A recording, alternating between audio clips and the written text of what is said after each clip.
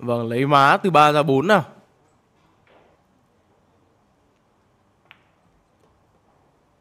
Khu vực uh, rất gần cửa lỗ rồi.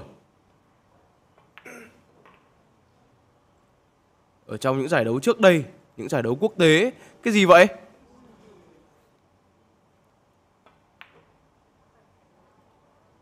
Trong những giải đấu quốc tế, những giải đấu lớn và chắc chắn sẽ không phải là một đối thủ dễ chơi có lẽ sẽ là một cú cân, thưa các bạn. Vâng như vậy là một cú cân 8 điều 9 Và con bí chủ nó đã dừng lại ở vị trí quá đẹp để kết thúc đốt con bí tiêu số 9 rồi. Tỷ số sẽ được nâng lên là 1-0 Sẽ được mở ra là 1-0 dành cho cơ thủ người Hy Lạp.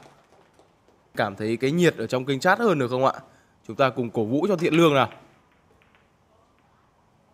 Bi mục tiêu số 1 đã rơi. Bi mục tiêu số 2 ở đâu vậy? Bây giờ thì Lường Đức Thiện sẽ có quyền đặt bi ở trong tay.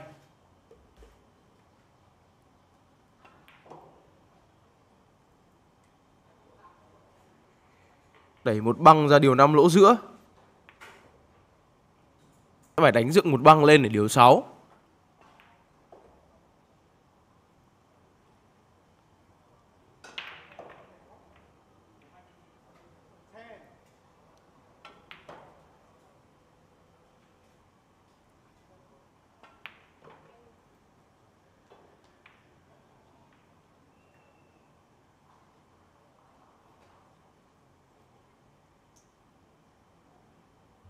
Vâng, quá đẹp. Sẽ là một đều. Điểm số đầu tiên dành cho cơ thủ người Việt Nam. Khá tốt và chúng ta mong chờ điều đó nó sẽ lặp lại. Vâng, bình mục tiêu số 1 đã rơi. Không rõ là phương án nào. Nhưng mà cũng không quan trọng nữa. Bây giờ thì Lương Đức Thiện sẽ có một hình bi mở. Rồi, bây giờ có lẽ sẽ là một tình huống cúp trực tiếp lên để điều 4 vừa rồi của Lương Đức Thiện là không tốt. Tốt thì Thiện Lương vẫn có những tình huống xử lý ờ, không chắc ăn, những cái cơ hội tương đối sâu rồi 6-1 vâng. Nhưng bằng một cách nào đó, Mickey Krause ờ,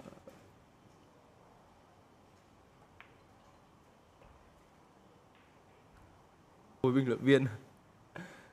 Mình thì đánh kém các bạn ạ, Mình thì đánh kém. Một con bi mục tiêu cuối cùng. Và tỷ số được nâng lên là 2-1 dành cho cơ thủ người Hy Lạp. Đây sẽ là rách thi đấu thứ tư và quyền đề pa lại quay trở lại với Dimitris Lokatos. Ê! Vâng, như vậy là tôi cảm nhận là không có gì rơi các bạn ạ.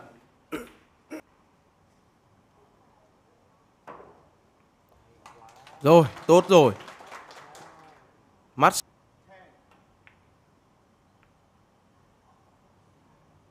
Rồi, như vậy là vuốt hai xuống. Và ý đồ của nữ Tiện là đưa cái ra sau 7.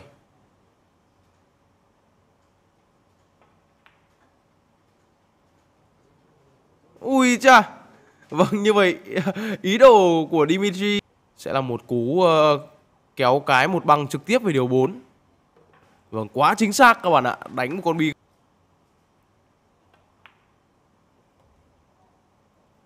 cho bình tiêu số 6 thì điều 7 sẽ cực kỳ khó chịu ạ.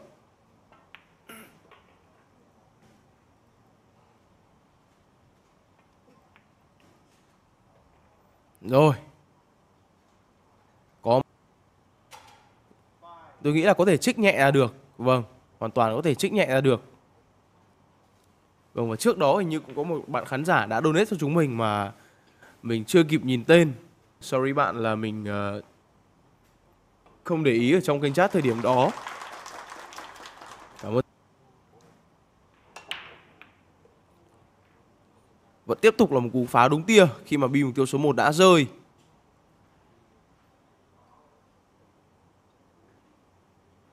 Một cú đẩy cúp hai băng chăng? Vâng, như vậy là một cú đẩy cúp phê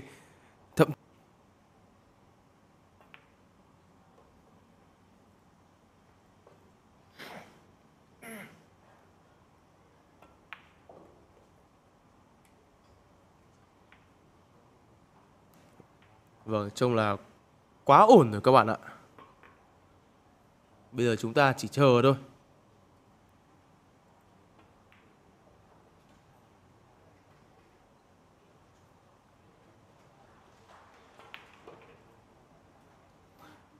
Rồi một cú trô trực tiếp về điều 3-2 dành cho Lương Đức Thiện thưa các bạn.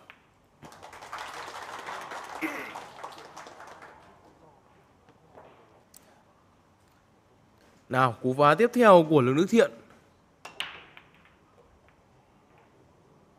Bị mục tiêu số 1 đã rơi. Nhưng mà chỉ cần thành công ra 4 thôi Là cơ hội lại mở toang dành cho lực Đức Thiện. Ba băng cũng được. Ôi va chạm với bi mục tiêu số 7 mất rồi.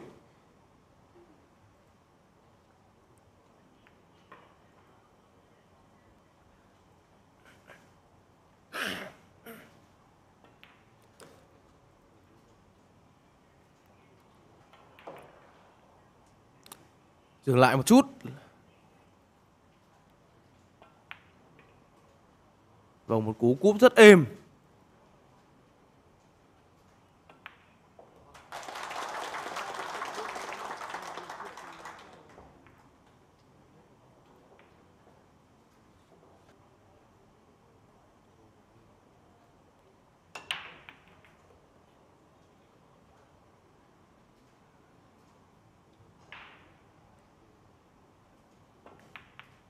Vâng như vậy là ờ, một cú kê các bạn ạ.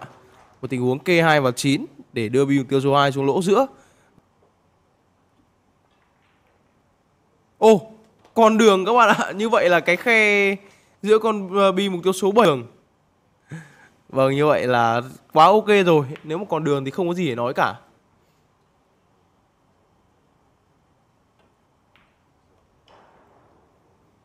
Đợi tình huống điều từ 6 ra 7 và mở má là điều từ 7 ra 8 của Thiện Lương. Chút nữa, chút có cho mình điểm số thứ 5.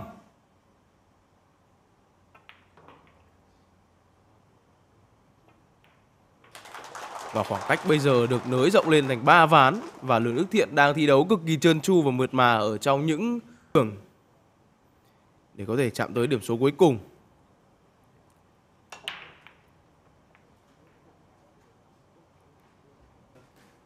Một loạt chấm thông cho tới điểm số thứ 10 luôn các bạn ạ, Cho nó nhàn.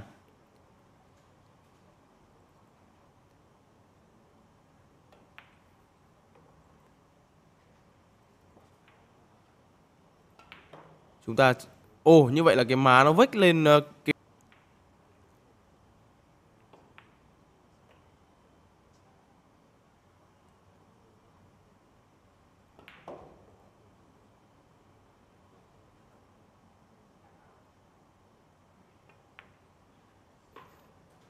hơi cái một băng ra và kết thúc nốt con bìm cửa số 9 vào lỗ đối diện. Tỷ số được nâng lên là 6-2. Khoảng cách bây giờ 4 ván rồi. Và chúng ta cùng chờ xem là Thiện Lương sẽ đi bao nhiêu trận. Vẫn là cái hình ảnh quen thuộc, Thiện Lương vào bàn phá bi. Và vẫn là con bi vâng, Quá hay và quá khéo các bạn ạ.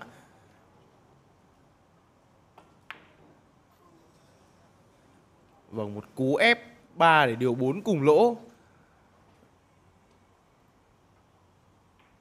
Vâng, như vậy là vẫn có đường riêng cho bi mục tiêu số 3 qua qua cái khe rất hẹp.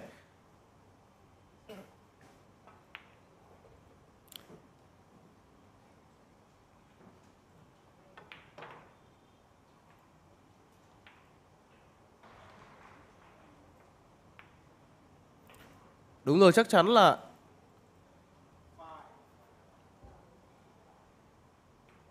Ồ, như vậy là vẫn có va chạm nhẹ với bình từ số 9. Nhưng mà người ta quá chi tiết các bạn ạ. Người ta điều ra cái vị trí quá chi tiết để tính toán được va chạm và sau đó có 9 thuận lợi. Và tỷ số được rút ngắn nữa còn 36 dành cho Dimitris Lokatos. Hay. Số đang là 6-3 nghiêng về lực nước thiện. Tôi đang định nói là một cú phá với lực rất mạnh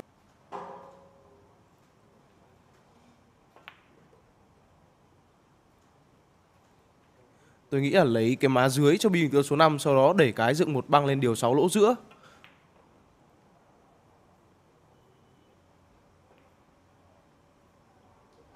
Rồi.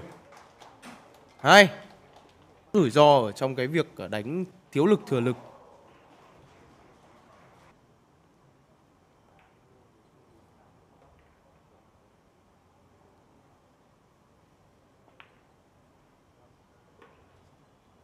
Vâng Điểm số thứ 7 dành cho Lường Đức Thiện Và khoảng cách lại được ờ, tái lập Vâng, chúng ta sẽ đến với rack thi đấu thứ 11 các bạn ạ. Ồ. Hoặc là có thể đẩy lên để cái va chín cũng được.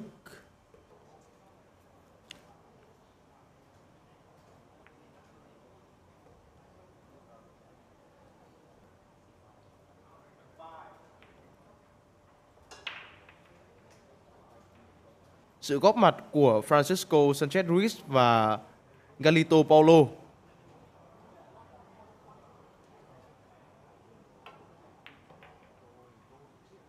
Ui.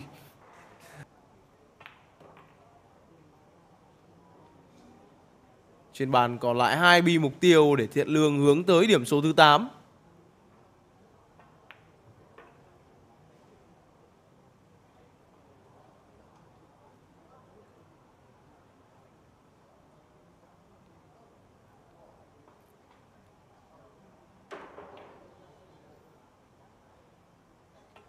Vâng và lần này thì là 8-3 Khoảng cách đã được nới rộng lên thành 5 ván đấu.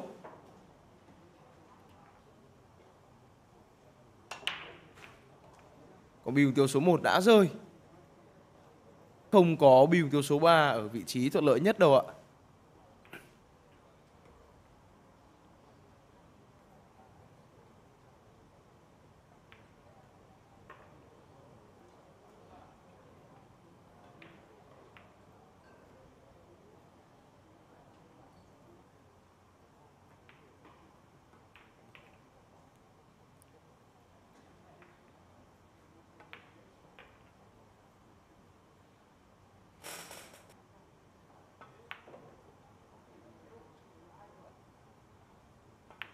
Mở ra một cái má vách rất vừa phải cho bình mục tiêu số 8 Và bây giờ thì khoảng cách sẽ được thu hẹp xuống còn 4 ván Điểm số thứ tư dành cho cơ thủ người Hy Lạp.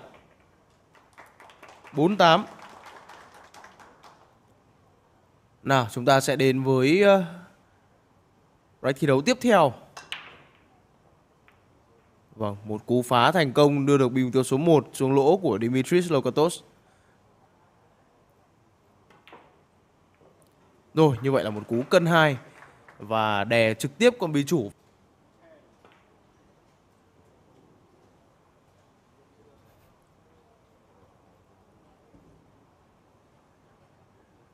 Vâng, như vậy là xử lý ờ, không thành công bi tiêu số 3 rồi.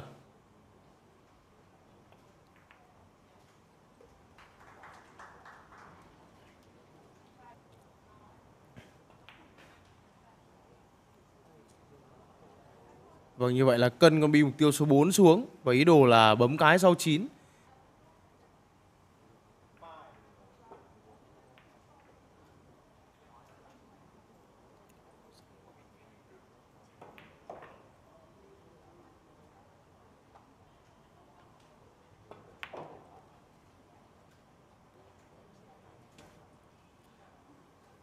Vâng, 3 bi mục tiêu cuối cùng và Dimitris Lokatos có thể có được cho mình điểm số thứ 5.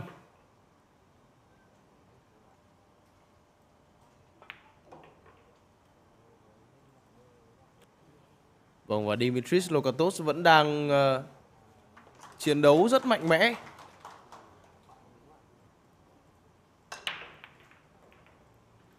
Rồi, thưa các bạn, chúng ta sẽ đến với rack thi đấu tiếp theo. Cho cơ thủ người Hy Lạp.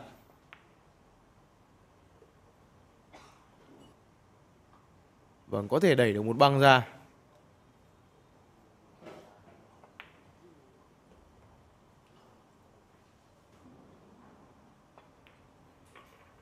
Và như vậy là ba băng luôn cho nó.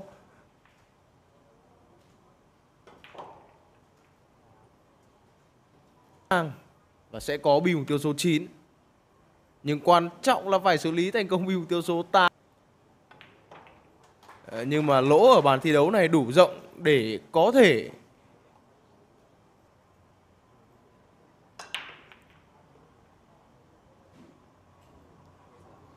tăng về điều 3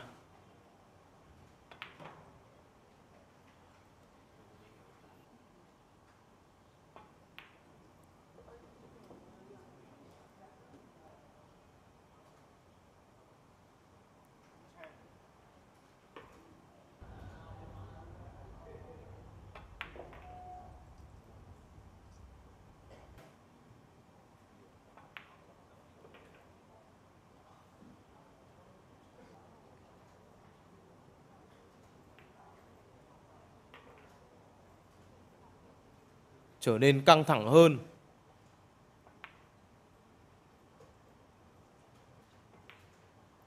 Rất chính xác vào 78. Khoảng cách bây giờ còn lại đúng một ván thôi.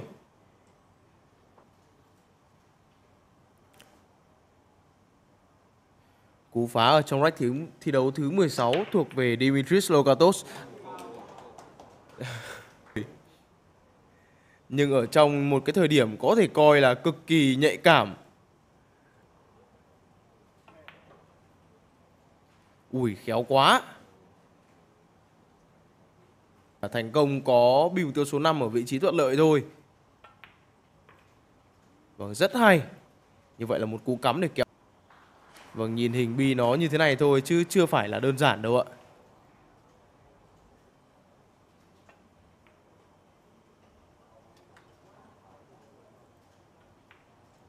Là sát vào cái thành băng dài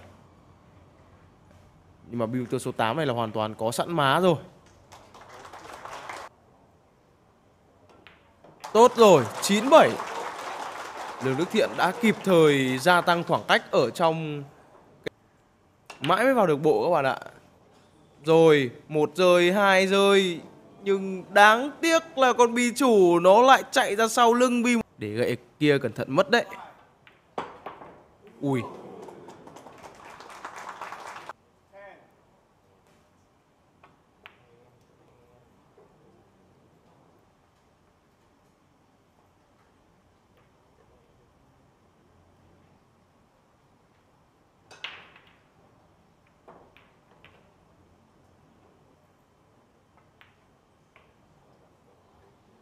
Vâng, và điểm số thứ 8 dành cho cơ thủ người Hy Lạp.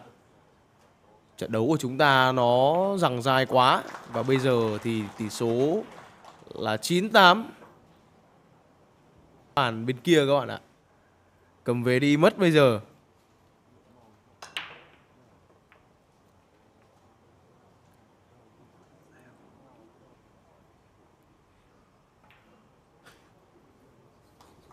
Ui người ta đánh vậy chịu rồi các bạn ạ.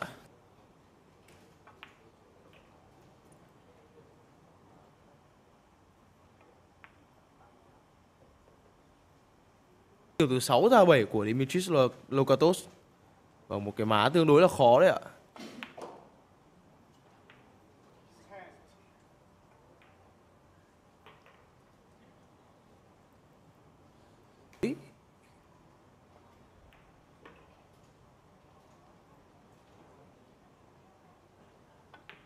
Rồi, như vậy là điểm số thứ 9 dành cho Dimitris Lokatos. 9 đều. Và chúng ta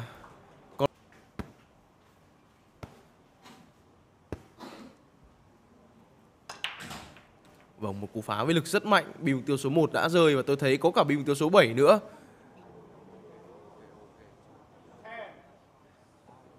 Vâng, trông có vẻ là họ muốn đặt bi ghép 29 các bạn ạ.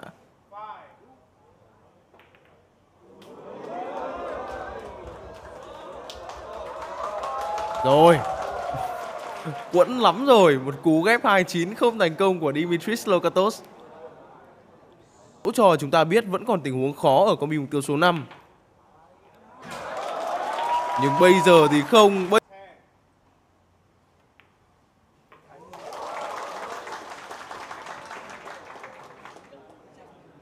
Rồi lại vòng từ 6 về 8 Con bi chủ này sẽ phải di chuyển những quãng đường rất dài.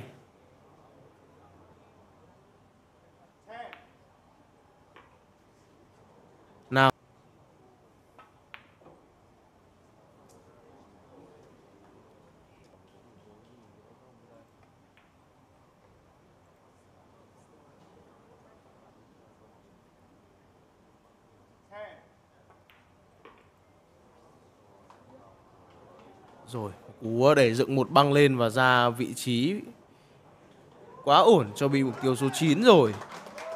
Vâng, và Lương Đức Thiện cũng đã bắt tay. Chúc mừng cho Dimitris Lokatos.